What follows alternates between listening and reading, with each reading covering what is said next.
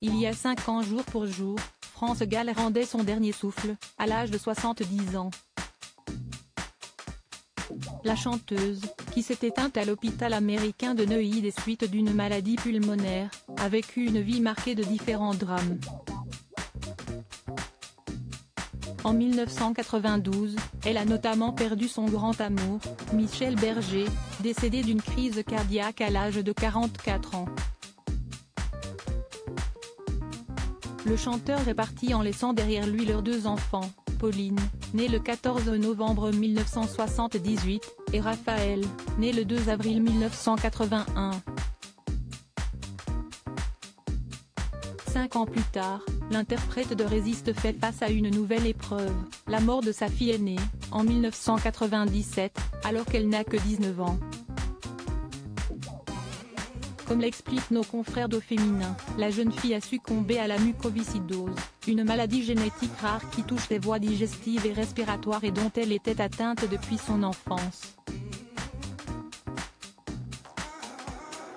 Si Pauline vit avec durant les premières années de sa vie, son état de santé se dégrade au milieu des années 1990. France Gall décide alors de mettre sa carrière entre parenthèses afin de s'occuper d'elle.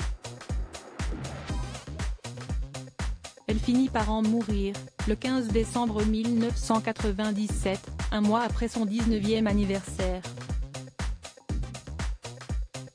Une perte qui a plongé sa mère dans un immense chagrin et dont elle ne se remettra pas. Michel Berger et France Gall, un couple mythique c'est extraordinaire de l'avoir connu pendant 19 ans on n'en revient pas de vivre un truc pareil. On n'en revient pas de vivre ça, car c'est justement le truc qu'on ne veut pas et qu'on ne peut pas vivre. Tout le monde dit que c'est impossible, inhumain.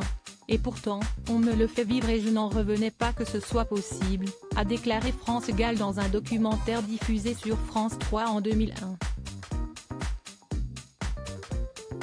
J'ai tout de suite voulu être la maman qui réussit le mieux au monde à survivre et à intégrer d'avoir perdu un enfant parce que sinon, on est foutu. Ma manière de penser ça a été, c'est extraordinaire de l'avoir connu pendant 19 ans.